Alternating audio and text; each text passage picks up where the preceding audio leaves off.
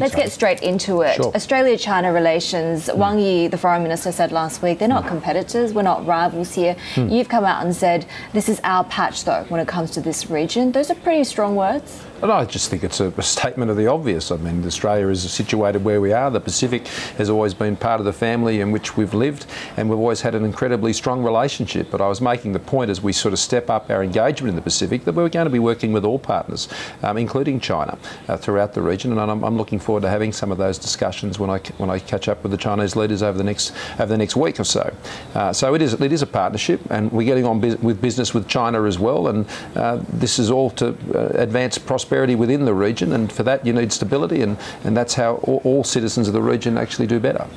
A couple of weeks ago, we spoke about what Australia could do to be involved Mm. or perhaps to counter the likes of the AIB, uh, the Belt and Road Initiative, and you've recently announced this $2 billion infrastructure fund Mm. to be rolled out across the region. Is this a sign of a more regionally assertive Australia? No, it's just a sign of us uh, working together with our Pacific family. We've always had strong relationships in, in the region, and uh, I've taken the decision, the government has taken the decision to, to uh, enhance those uh, levels of engagement. It's been incredibly well received by, by Pacific leaders, and the meetings I've had, and I'm looking forward to uh, getting together with all of those Pacific leaders when I'm actually up in, in PNG. You're hosting a barbecue. I am hosting a barbecue. They're looking forward to that, but they're also looking forward to sort of getting together in what is very much a family group and, and talking through the issues that are important to them. Things like our Pacific Labour Scheme, I know is very important. The seasonal worker scheme is very important, um, but also improving and, and assisting them with their own capability development in Fiji or in, in, uh, in PNG.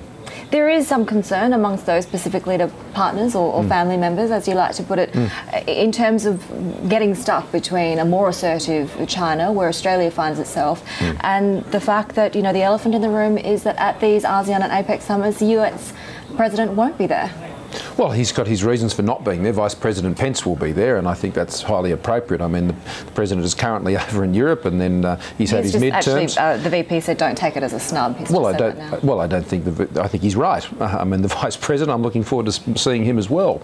So, I mean, the US is very engaged in the region, and uh, the, the president will, I'm, I understand, be in G20 down in Buenos Aires. So there's there's a lot of these meetings on at this time, this part of the year, and Vice President Pence, uh, I, I think, will make a, a very important contribution. How do you rate uh, the state of Australian Chinese relations after the foreign minister's visit, after what's been a rocky couple of years? I'd say they're very stable, and I welcome that. And uh, Australia has always, I think, sought to be a very productive partner in our comprehensive strategic partnership. That is the official status of the relationship. And I welcome the most recent meetings with our foreign ministers, our trade ministers, and I look forward to the, you know, the, the engagements we'll have in, during the summit season in the weeks ahead. I want to get your view on where the sort of lay of the land is with regard to foreign investment, particularly when it comes to a Chinese company or a Chinese linked company. There's been a couple of pretty notable high profile uh, knockbacks. Uh, CK Group's $13 billion bid for the gas pipeline operator. We've had, of course, the attempts by Huawei, Ausgrid uh, in, in building out the, the 5G network. Is it getting to a point where if you are a Chinese connected company, you're not going to have a very good chance of getting an approval in No, investing not at in all. Australia? I mean, you've, you've, you've, you've highlighted some exceptions, but the normal state of affairs is there's been, you know, many, many approvals, um, you know, dozens of times over. I mean, it, at least in relation to the APA, I mean, that decision was taken about the, um, the concentration and aggregation of, of, of a single owner. Um, it wasn't about, uh, you know, the nationality owner at all.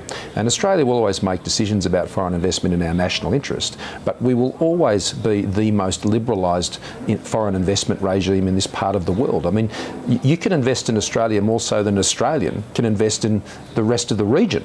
Um, and so I, I wouldn't describe, um, you know, the, the arrangements necessarily as reciprocal, but we have a very open, liberalised investment arrangement. We have clear rules, and I think whether it's on the most recent decision you've referred to or, or, or the others you, you made mention of, we went through a very uh, disciplined process of explaining the decisions, and there were no surprises in those decisions, and I think that's an important mark of what I would like to be how we continue to engage with China. We, we have our rules, we explain our rules, and, uh, and people can come, and we welcome that investment in accordance with our rules, and that is no less than what I'm, I'm sure China would expect of any investment in China or, or Singapore would invest, expect in Singapore or Indonesia or Malaysia or any other part of the region. But it's no question that Australia's foreign investment arrangements are the most liberal of any in the region. Let me get to this FTA with Indonesia. You flagged before mm. that it will be signed in November. Will it be signed at APEC or ASEAN? Well, I, I, I didn't flag that. I, what, I, what I said when I was in Indonesia, it be, it was, the intention was that trade ministers would be able to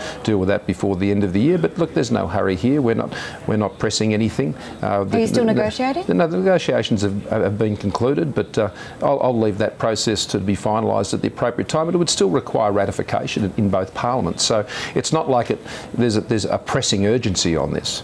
Um, and uh, we believe it's a win-win deal. We, and we appreciate the very strong support for the arrangement, both from President Widodo, but also uh, the support that has come from Sri Mulyani, in particular when she was here as a guest of government, which I was able to issue when I was Treasurer, and uh, of course um, uh, Thomas Lembong um, and, and the, the, special um, uh, representative when it comes to investment. They're not in waiting Indonesia. to see if we're relocating the Israeli embassy. Well, Australia doesn't conflate these issues. We, we never conflate these these issues, and so from our point of view, um, they're, they're very separate issues.